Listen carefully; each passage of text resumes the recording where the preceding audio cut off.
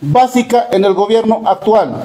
Las plantas de separación de líquidos de Río Grande y Carlos Villegas, inauguradas el año 2013-2015, son el ejemplo más concreto de la industrialización del gas para la exportación y el consumo interno de los bolivianos, con una inversión de más de 800 millones de dólares durante el gobierno de Evo Morales Saima.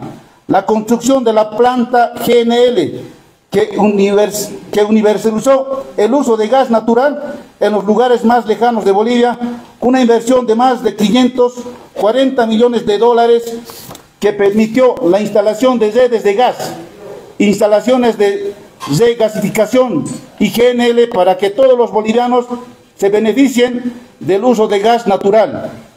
Evo Morales fue quien inició la industrialización del litio con la producción de carbonato de litio, cloruro de potasio, ácido carbónico desde el año 2013, con tecnología e inversión 100% boliviana y una inversión de más de 300 millones de dólares para que el litio se beneficie a los bolivianos y bolivianas en su totalidad. Estas iniciativas fueron la base para que Bolivia dé el gran salto hacia la fabricación de litio metálico y baterías.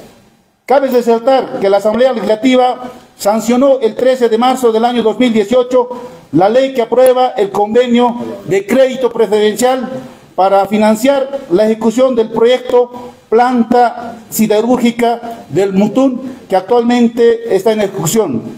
Estos pequeños ejemplos demuestran que la industrialización de Bolivia fue iniciada por un líder indígena llamado Evo Morales, quien durante su gobierno implementó centenar de industrias en el área agropecuaria. Paralelamente, ejecutó más de 8.790 obras de infraestructura en el país entre el año 2007 al año 2018. Con estos datos queremos desnudar la otra gran mentira que ha creado el gobierno actual, señalando que es el que inició la industrialización del país. Queremos manifestarle una vez más que el gobierno nos miente con las afirmaciones como, como miente con la situación de la parte económica. Desde acá, sin duda, queremos que el gobierno actual, a la cabeza del presidente Lucho, sea sincero con el pueblo y que no esté adueñándose de la lucha, del trabajo del pueblo y asimismo de nuestro expresidente Evo Morales Saima.